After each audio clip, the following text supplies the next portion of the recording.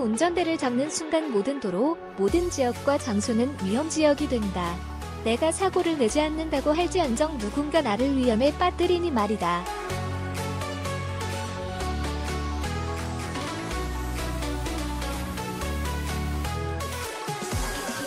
그런 위험 상황 속 환절기 시작인 5월은 특히나 조심해야 될 요소가 있다. 천하장사도 이길 수 없다는 눈꺼풀의 유혹, 졸음이다.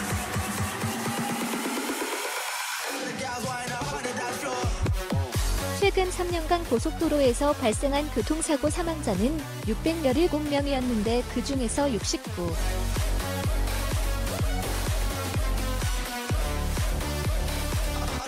4%에 해당하는 428명이 졸음운전으로 인해 삶을 달리했다. 월별로 살펴보면 5월 졸음운전 및 주시 태만 교통사고 사망자는 전체 75.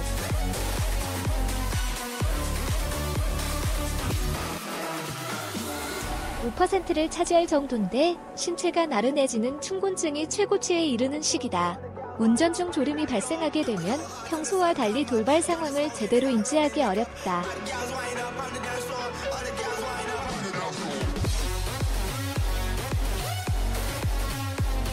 단지 몇 초를 졸아도 자동차는 몇백 미터를 주행할 수 있기에 사고 역시 치명적일 수밖에 없다.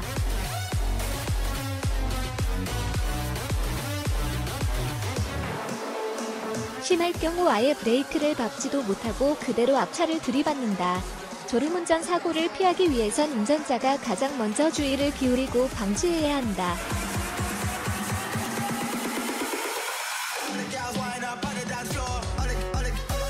가장 좋은 방법은 역시 수면이다.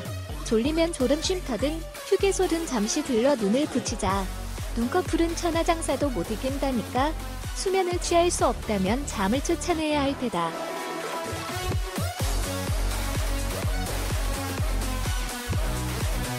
어떻게 쫓아내냐고? 우선 창문을 열어 자주 환기를 시키고 공조장치도 외부 순환 모드로 변경할 필요가 있다.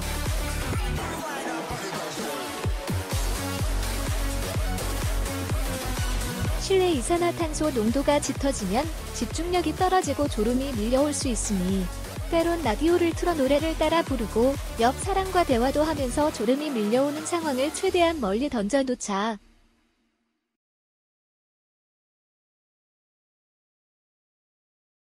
먹는 게 남는 거라 했다. 무언가를 먹음으로써 졸음운전을 피하기도 한다.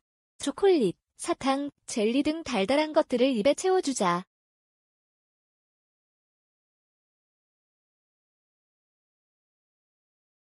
우리 몸의 당이 부족하면 뇌는 피로감을 쉽게 느끼며 집중력이 떨어진다. 이럴 때 단 것을 보충해주면 집중력도 끌어올릴 수 있고 뇌 활동도 활발해져 졸음 운전을 예방할 수 있다.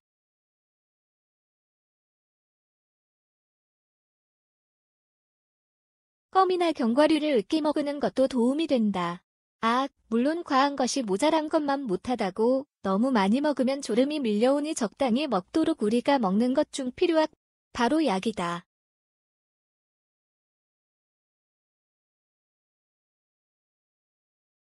약국에서 약을 먹고 나면 잠이 슬슬 찾아올 때가 있다. 처방약 중 수면 효과가 들어있는 것도 있기 때문에 운전하기 전 복용약 성분 파악은 필수다.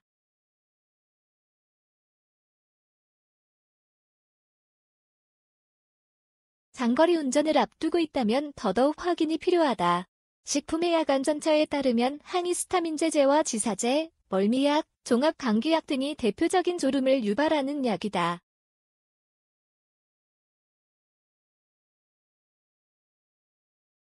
졸음운전 방지를 위해 차선 이탈 경고 시스템이나 눈꺼풀 움직임 감지 카메라, 얼굴 인식 단말기, 조향각 센서, 심장박동 측정 등 다양한 기술이 적용되고 있다.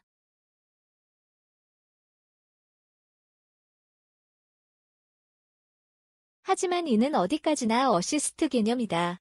운전자가 알림을 무시하거나 제대로 듣지 못한다면 무용지물이란 얘기.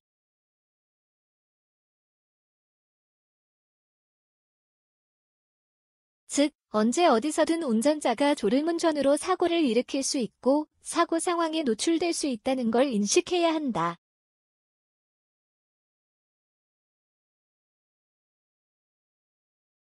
지금 우리에게 필요한 건 첨단 기술도 초콜릿도 아니다. 그저 졸음운전은 아주 커다란 위험 요소라는 인식, 그 마음이 필요하다.